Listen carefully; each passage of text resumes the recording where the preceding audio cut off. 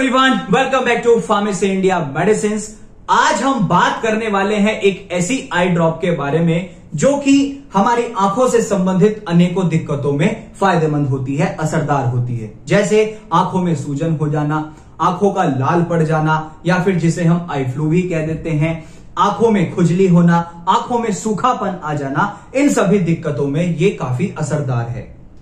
अब जो मार्केट के अंदर ये प्रोडक्ट आता है, उसका नाम है ब्रिसमॉक्स आई ड्रॉप्स आज की इस वीडियो में हम यही बात करने वाले हैं, ये ब्रिसमॉक्स आई ड्रॉप्स काम कैसे करता है, इसका कॉम्पोजिशन क्या होता है, कहाँ कहाँ पर इस्तेमाल कर सकते हैं, क्या डोज होना चाहिए, और क्या क्या सावधानी बरतनी चाहिए, इन्हें प्रमुख बिंदुओं पर हम बात करने वाले हैं। तो बात करते हैं इसके कॉम्पोजिशन की, इसके अंदर मॉक्सीफ्लोक्सासिन नाम का एक इंग्रेडिएंट होता है। अब बात करते हैं कि ये काम कैसे करेगा जो ये ब्रिस्मॉक्स आई ड्रॉप्स हैं, इसके अंदर मॉक्सीफ्लोक्सासिन है। तो ये एक एंटी बैक्टीरियल एक्शन प्रोड्यूस करता है, जिसकी वजह से बैक्टीरिया की ग्रोथ को आगे नहीं बढ़ने देता।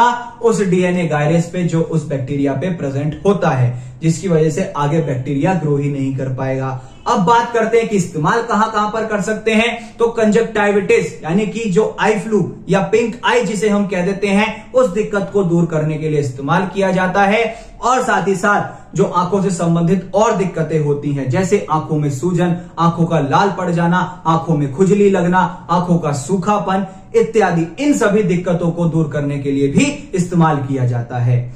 अब बात करते हैं कि इसकी डोज क्या होनी चाहिए। तो जो डोज होती है वो ये है कि आप इसे दिन में दो से तीन बार एक दो बूंदे अपनी आँखों में डाल लें, या फिर जो आपको डॉक्टर सजेस्ट करेगा डोज, वो डोज आपको रखनी है।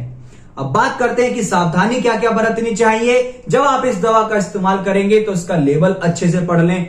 साथ ही साथ इसे ठंडी और सूखी जगह पर रखें, कभी भी सनलाइट से एक्सपोज ना करें। छोटे बच्चों की पहुँच से दूर रखना है और जो डोज डॉक्टर आपको बताएगा, उससे ज़्यादा डोज आपको नहीं डालनी है अपनी आँखों में। और जब आप इस दवाई का इस्तेमाल करेंगे, आँखों में डाल लेंगे तो आपको ड्राइव नहीं करना है क्योंकि आँखों में धुंधलापन आ जाता है।